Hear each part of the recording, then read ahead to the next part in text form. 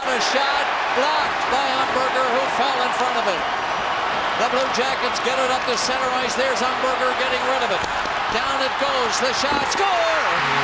Foligno scores!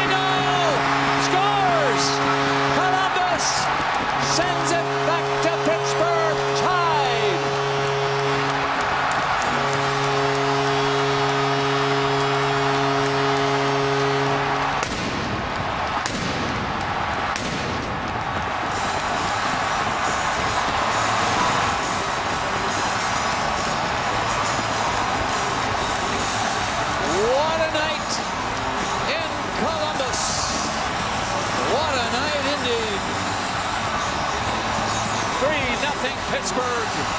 And the final is 4-3 Columbus. Columbus Blue Jackets hebbed in their end, and Umberger goes down and almost blocks it with his face, and this is what turns the puck over. Mattis stands up in the neutral zone, but he doesn't get the puck out, and Foligno just fires this through traffic. This is a puck that Fleury's got to have. This is not a tough one. Again, there's the block. Great job by Umberger. Turn the play over Foligno. It starts to move up ice. Wisniewski takes a dive at it, which turns it over. And he just takes a wrist shot that fools Fleury. I'm not sure if it went off Niskanen or not, but it beat him. And now all the questions are going to come out now.